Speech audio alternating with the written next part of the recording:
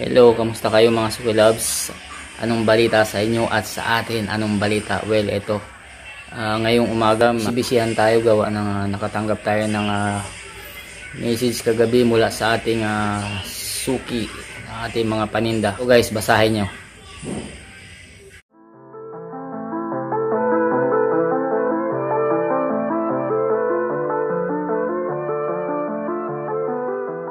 So, yun. Basa nyo guys mula sa ating Suki Labs na taga Davao. Siya daw ay order ng uh, dalawang order ng ating binignit at saka kutsinta. Kutsinta. So alas 10.30 yata, alas 9.30 yata ngayong umaga natin i-deliver. So kailangan natin ng magsimulang magluto. Uh, siguro is una is akit muna ako ngayon ng nyug. So pakita ko na lang sa inyo guys.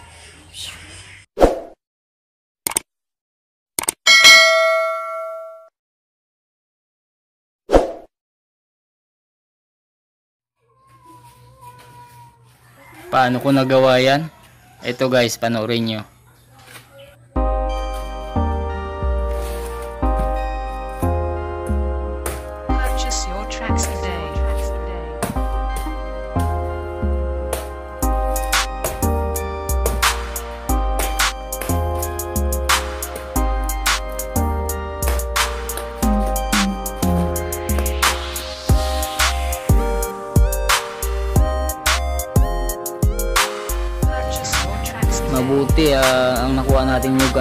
Medyo sakto lang yung pagkabuko niya kaya tamang tama to sa ating uh, bini lulutuing binignit dahil hindi siya masyadong matigas. At uh, ito na isusunod na nga natin yung ating uh, kamote.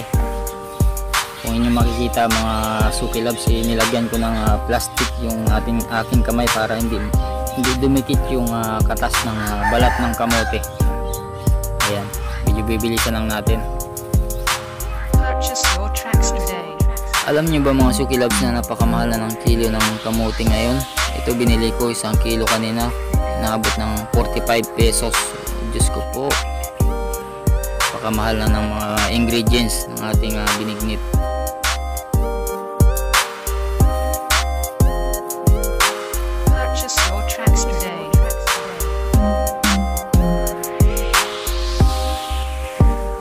At ito na nga mga suki loves, nabalatan na natin isa-isa at uh, pwede na natin siyang hiwain ng maliliit.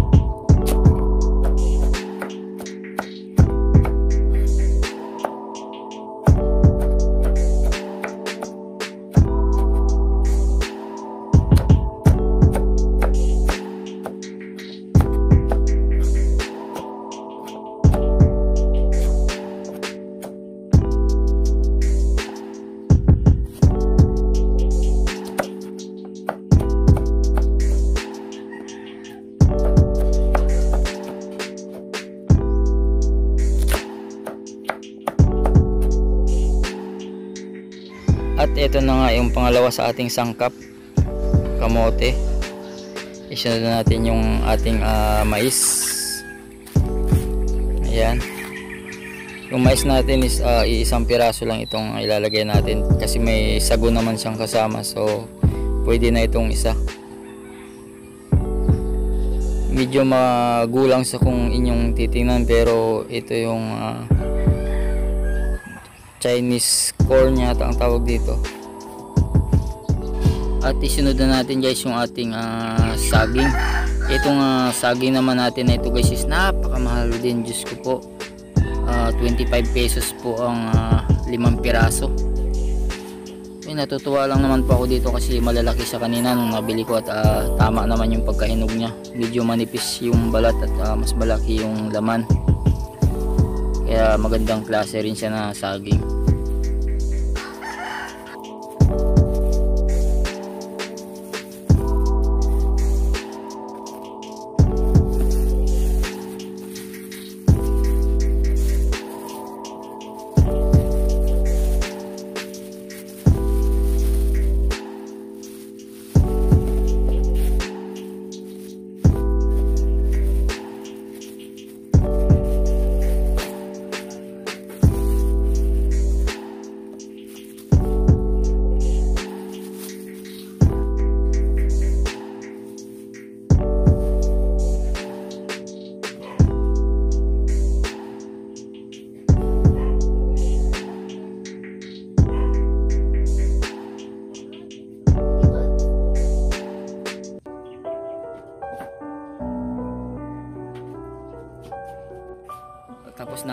saging mga suki love. So isusunod na natin yung ating uh, nyog na gagamiting panggata. Ito dalawang uh, dalawang nyog ating munang linisan bago natin uh, buksan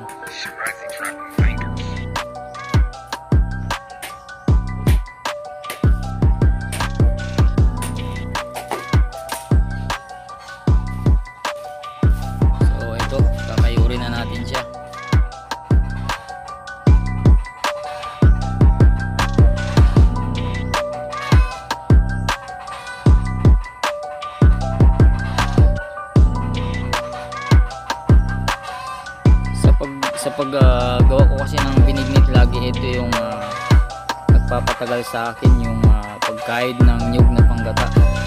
Medyo nauubos dito yung oras ko. Ito yung matagal na ma- matagal na gawain na umuubos ng oras ko yung pagkakaid pa ng nyug.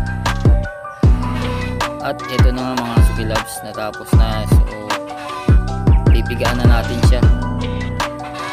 Dito kasi sa dalawang nyug na ginagamit ko bali dalawang beses ko siyang ah, pinipigaan para mas ah, makuha ko yung talagang katas ng ah, nyug na panggata. Para mas ah, mas malinamnam yung magiging lasa ng ating ah, binignit. Mas masarap kasi yung ah, binignit pagka, pagka maraming gata kasi ah, malinamnam siya. So sa madaling salita, yung uh, nyog o yung gata natin ang magpapasarap ng ating ah, binignit. Mas maraming gata, mas malinamnam sa panglasa ng ating mga suki.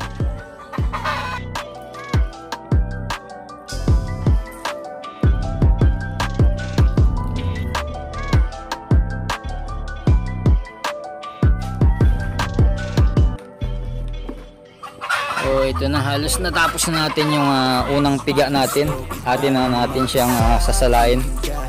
At uh, siyempre pipiga ulit tayo ng ah, pangalawang piga.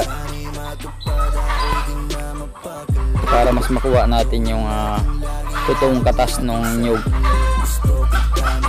Yan. Tutubigan natin uli para mapigaan natin. Pigaan natin ng pangalawang beses. Yun. Ang hirap guys, ah, ang hirap mga suki ah, tigaan yung ating nyug pagka ganitong mapural yung ating ah, kuskusan. Pag mas matalas kasi yung kuskusan natin, mas pino yung pagkakakaid sa nyug, mas maganda siyang ah, pigaan. Mas makukuha mo yung ah, yung lahat ng katas ng nyug. Makati na lote, sinamantala pumarada. Meron ba nagmamayari ng iyong damdamin kung ganun di bali Ako yaamin na ikaw lang ang pipiliin kisa sa kanila. Ito panandalian lang Ito yung unang ah, katas ng nyug na nakuha natin sa unang piga natin. ang So bali ito na yung pangalawang piga ng ating kasi Gusto kita na mapasakin Kahit na mali katabi ka ng matagal At di lang ngayong gabi Hiling ko sana'y matupad. Ako'y di na mapakali. Gawin nating lagi na ako nating sandali. Gusto kita na mapasakin Kahit na mali katabi ka ng matagal At di lang ngayong gabi So ito at ah, sasalain na natin ulit yung ating ah, pangalawang piga. Dito na natin siya isama dun sa unang pinagpigaan natin. Kasi bubuwas lang din naman natin to sabay mamaya sa ating lu- lulutuing binignit.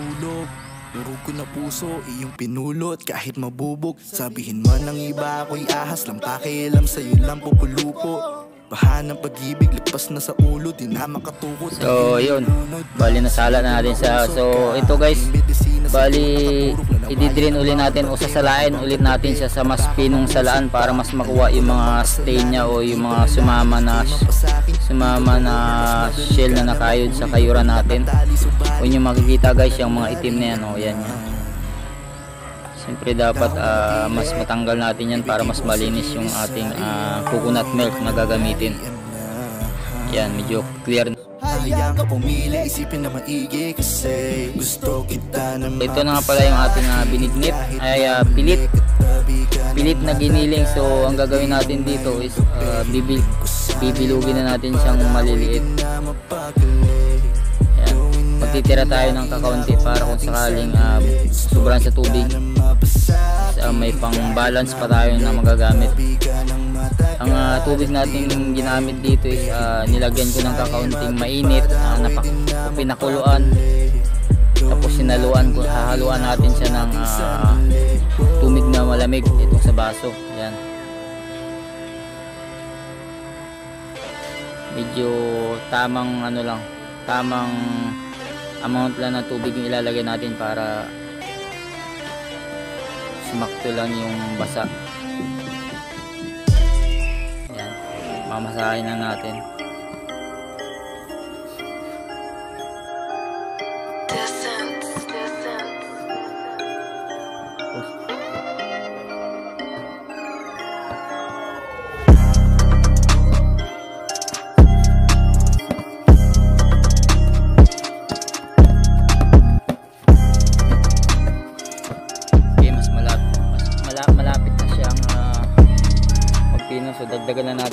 na natin ng kaunting harina pa ng ating glutinous na giniling.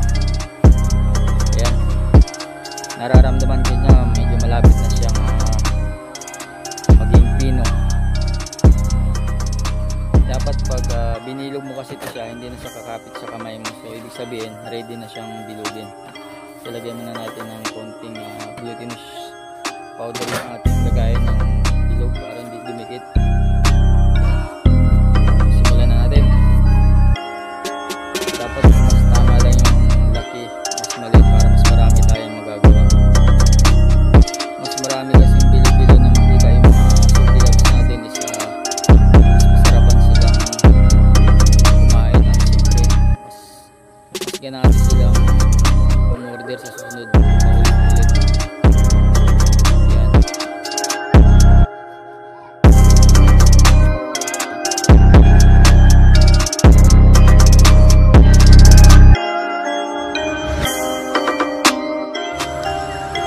ito na nga mga Suki Labs na nabilog na natin na paisa-isa yung ating ah, glutinous flour.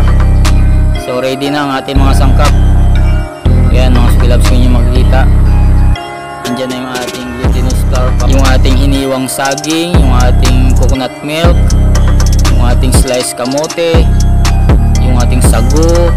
Ito na yung nyog natin, yung mais yung mais natin ay may langaw yung mais at ah, yung landang natin at dalawa itong landang natin binili isang ubi flavor at saka yung puti. So bali itong ubi yung gagamitin natin at ah, ito yung asukal natin gagamitin. So ready na tayo guys. Simulan tayo magluto.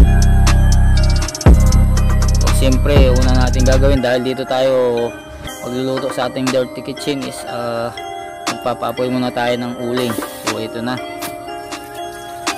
papakuluan na natin sila isa-isa. So siyempre unahin natin yung ah, kamote. Bago natin isunod yung ating gata yung saging at ah, yung ah, glutinous flour natin na binilog. Medyo ipanghuli na natin yung ating glutinous flour para mas ah, hindi siya ma-deform. Yan. Ilulunod na natin yung ating kamote. Ang ideya ko kasi dito mga suki loves para hindi siya ma-overcook is ah, niluluto ko siya ng paisa-isa yung ating mga sangkap saka ko siya pinagsasama-sama pag malapit ng hanguin yung ating dinimit. Saka ko inulunod ng sabay-sabay yung kanyang mga ingredients. So yan yung ating kamote. At dahil nga naluto natin ng paisa-isa guys is ito na yun yung ating ah, saging yung ating glutinous flour yung ating kamote nalaga na rin natin. So yung mais na lang ang iuwi natin dahil sasabay natin ito mamaya sa ating papalaputin na ah, glutinous flour ito yung kaldero natin guys na gagamitin so malinis na ready ready na rin. Siyempre so unang ating gagawin is ah, dito natin lulusawin yung ating glutinous flour. Kasi pag ididirect mo sa dun sa kaserola na mainit sa mainit na tubig is um, bibilog siya hindi siya magiging malapot kundi mamumumo siya. So dito pa lang sa malamig na tubig isi-separate natin na siya ng ah, lagayan saka dito natin siya lulusawin. Bago natin siya ibubuhos ng diretsyo doon sa ating kaserola. Nang sa ganun is ah, hindi siya mamumumu at magiging maganda yung texture o yung pagka, pagkalapot niya. So ito medyo malapit na. Pwede natin siyang ilipat dito sa ating kasirolang gagamitin para pakuluan na natin. So ayan. Lalagay na natin siya dito sa ating uh, pinaka pinaakuyan na uling. So ito guys i-stir na natin siya hanggang sa kumulo. Ang purpose ko nitong uh, pag-stir natin para maiwasan yung uh, pamumumo dun sa ilalim at uh, hindi siya masunog hindi siya dumikit dun sa ilalim.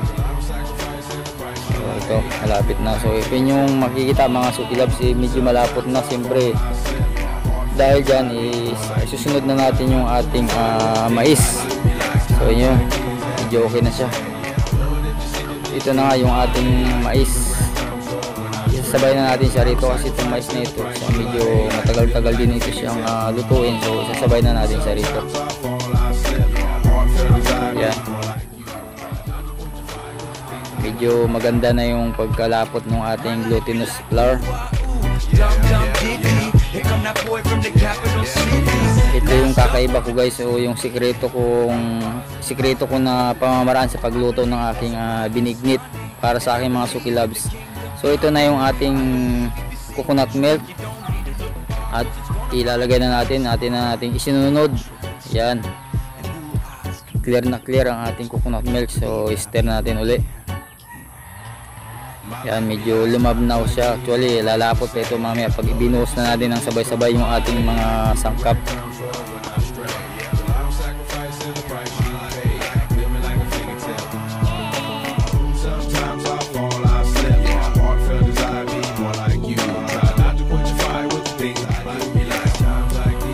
Okay okay na yung pagkamalapot niya so pwede na natin ilagay yung ating uh, landang ito ito yung ating landang is ito yung maglilikha ng kulay sa ating uh, binignit. Yan uh, isusunod na natin yung ating buko na nyug. Yan. Kung inyo guys na uh, makikita mga sukilabs eh, medyo lumapot na siya. Susunod na natin yung ating binilog na glutinous flour. Yan isa ito sa mga nagpapasarap sa ating uh, binignit at isusunod na nga natin yung ating uh, pina, nilutong saging na niluto natin kanina bago natin ilagay dito. So yun naging uh, maganda na talaga yung kanyang uh, texture. Looking for a little romance. Given half a chance. At dito na nga natin isunod, isunod yung ating uh, pinakuluang kamote. ayan paganda na ng paganda yung texture niya mga suki loves pati yung kulay ng ating binignit okay na rin siya. Yan, may pagka pinky siya na may pagka violet at uh, lagyan na natin siya ng asukal kasi medyo kumukulo na siya. At uh, naluto naman siya agad kanina so mas mabilis na siya natin yung timplahan asukal. Pati yung coconut milk niya na rin kanina nilagay na natin. So dahil kumulo na naluto na niya naluto na rin yun siya. So asukal na yung hinuli natin. At ito nga pala guys yung pinaka sekreto ko sa pagluluto ko ng binignit.